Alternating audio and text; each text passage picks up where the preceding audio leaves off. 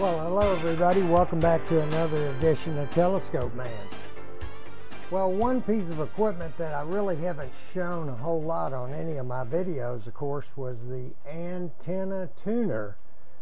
And right now you're looking at a uh, used uh, MFJ 986. MFJ 986 that I bought oh, about the time that I got my uh, ICOM 7000, which was way back when I very first got my license. So I've had it for several years now. It works perfectly. And I've always used this uh, legal limit, which means that it can handle uh, 1500 watts, legal limit uh, antenna tuner to tune my both my beam and my long wire outside. it seems to be able to tune a chain link fence. I've even heard tell that uh, it can tune out a short too. Uh, so you kind of need to be a little careful about that. But uh, the man, this particular manual tuner was recommended to me by my uh, Elmer John Walker. He had one of them before he upgraded to a, a legal limit uh, auto tuner. But anyway, this is a manual tuner, and the reason he recommended it to me was it has two knobs on it. It doesn't have three. You know, a lot of these manual tuners have three knobs. This one only has two. It has an inductance knob and a capacitance knob. All right? And by going between these two knobs, what you try to do is null out any of the reflected power that's showing up on the meter. We're going to do that live right now. Also, what's kind of neat about it, it does have a uh, little analog uh, digital or, or number readout. And once you get an antenna tuned to resonance, you can write down the numbers of all three things. You write down, you know, the inductance inductance number was 145, for instance, and the capacitance was about six. And you write that down in a book, which I already have done. Hope I can get this to actually show up, but there it is. You can see I've got all the major frequencies. Let's try that again, maybe about right there. I've got all the major frequencies uh, shown on this, just a little piece of paper that I keep in this uh, pad where I write down other information like nets and things. So uh, anyway, I've already I already know uh, what's in the ballpark uh, for that particular uh, frequency, so I can pre-adjust it now. Before, I actually had to run through all the bands. I'd get in the middle of the phone band because I'm mostly phone.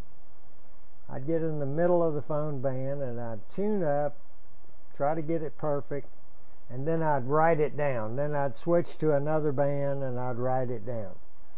And uh, so now I have like a little referral chart that tells me where to start the tuning process makes it a whole lot easier. But to begin with, I'm going to show you how to tune it from scratch.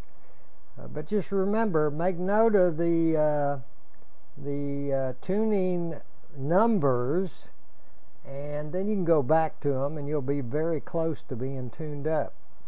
It won't take you but a second to to uh, touch it up a little bit.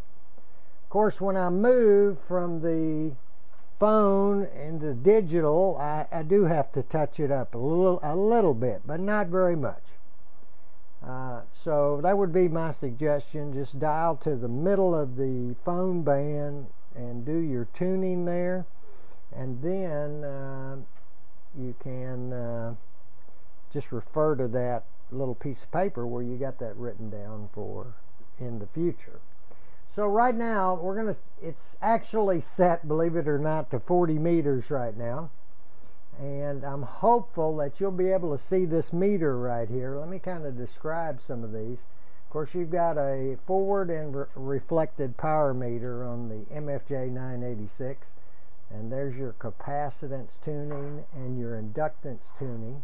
Then it's got various switch settings, uh, you know, one for a dummy load, coax 1, coax 2, a balance line, uh, or direct settings where it bypasses the tuner uh, completely, coax 1, coax 2 direct, which if you have a uh, if you know it's tuned up perfect, you can just switch over to one of these depending on which line. It's got two plug-ins on the back, of course, coax 1 and coax, coax 2 for two antennas.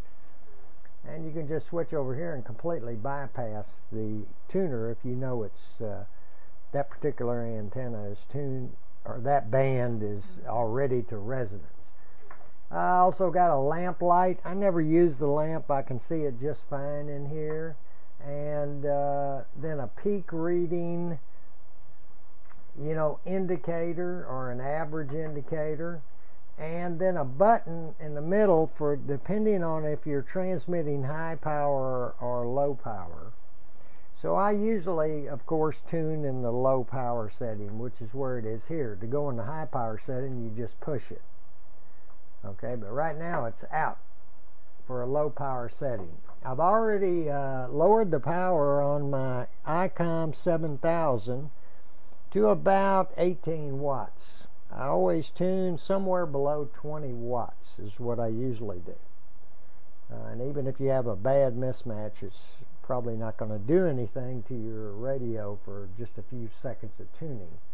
Of course, you got to get a carrier in there, and you know, if you just keyed up the mic, you would really not have a good carrier to tune with. So, what you do is you change the radio from single sideband, upper or lower, you change that to something like AM or in my case, I like to use RTTY, R-T-T-Y, radio teletype, which this radio has. And I can just switch over. I'm going to do that right now. And now it's on radio teletype. So when I push the push to talk button, it's going to send out a, a tone, uh, you know, into the tuner that we can use to tune with. So uh, let's see what we are right now. Keep your eye on this. I'm hopeful that you can see it. We'll find out as soon as I make the video. But here we go. I'm gonna push to push to talk. See what we get. Wow, we got a mismatch, didn't we? I've got the radio on uh, on 20 meters, and the antenna tuner is tuned for 40 meters. So it looks like we've got uh, about three to one about three to one. It's where these arrows cross. There's a little uh, kind of a uh, lines on here, and where those two arrows cross one another, and then you just read from that position. And I'm approaching about three to one right now. So, the first thing you want to do is uh, I, I usually start with inductance on this particular tuner and so let's do that see if we can lower it a little bit okay? So here we go. I'm gonna key it up. And it's dropping whoa it dropped way down to virtually zero. And of course I'm looking at my little analog meter up here it says 157 and according to my piece of paper I've got 157 on it but let's see if we can make it any better. The next thing I try to do is to get as much forward power out of it as I can. It takes a kind of a general, gentle touch to do that, going between these two. And you're continually looking at both of these to make sure this doesn't go up, but this goes up. The forward power goes up. So that's usually my next step. So let's do that right now. And let's see if I move this. If it goes down a little bit. No. Let's see if I move this. No. Okay. So I may need just a little bit more power. So we're gonna give it uh, we're gonna move it up to uh, since it's pretty well tuned up we're gonna move it up to about 30 watts and here we go we're going to try it again it makes the meter you know sometimes they meters will read better if they get a little bit more power to, through them. And a lot of times you need to tune amps both at uh, tune for amps, especially when you've got an amp.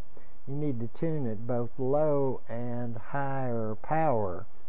So uh, if I had my amp on right, was going to turn my amp on, I would definitely tune this, you know, to around 50 watts, which is the max I usually run my radio on 50 watts when I'm going through the amplifier. So I would certainly test it at about 50 watts. But we're at about 30 watts, so let's look at it again. Keep your eye on the meter. And nothing happened to the reflected whatsoever. And it looks like, boy, I can just barely see that line moving. The forward power just barely. That looks pretty, pretty good right there. And that's it. I'm tuned. All right, so I can just start transmitting now uh, and not worry about uh, not having 50 ohms showing to the radio. So uh, tuned up on 14 meters. Now, let's drop way down to, uh, let's just drop down in the band a little bit, all the way down to 14.070 or thereabouts. I don't want to get on top of them. So I'm going to go to 14.063. Uh, and that way I won't be on, on top of any digital signals. So I've dialed back the power again to uh, about 20 watts. Now let's look at this meter again, see what happened. Remember, I've moved the, from about 14.300 uh, almost all the way down to uh, 14.063. So let's key up again. And we did get some movement out of the uh, reflected a little bit, not much. But right now we don't have any movement. It's it's pegged at zero. So that's all it took to tune up basically uh, way down the band if I make a move, it just takes one or two seconds to tune. Uh, if I'm going to switch from phone to digital, it doesn't take very long. So, uh, uh, also tells me that uh, going through the Mosley beam right now, it's also telling me that it's it's uh, got a pretty flat response across the band because I didn't have to make many adjustments on this even from the bottom to uh, all the way halfway through the phone band. So it's probably pretty good to start with but I always use it I always tune I always make sure that everything's okay before I transmit. Anyway again it's an MFJ 986 uh, believe you can still buy these new. I'm not real sure. I think you can, but you can always find them used on QTH or QRZ in the used forum classified ads. And they make a great tuner. Uh, again, legal limit. And remember, my amp is only a 600 watt uh, ALS 600, so I'm not even, uh, this is not even struggling to uh, do 600 watts uh, when it's uh, okay to 1500. So keep that in mind when you buy one. I suggest you buy a legal limit. If you can find you a good used one, that's the way to go. I surely uh, found a good one. This one's uh, been working perfectly. No arcing, no smoke, no nothing. Just sits here and works. Anyway, that's all there is for today. Manual antenna tuner. Get yourself one. And remember to keep looking up to see the greatest show on earth right over your head every single night. Up there. 73, everybody. Clear skies. See y'all later.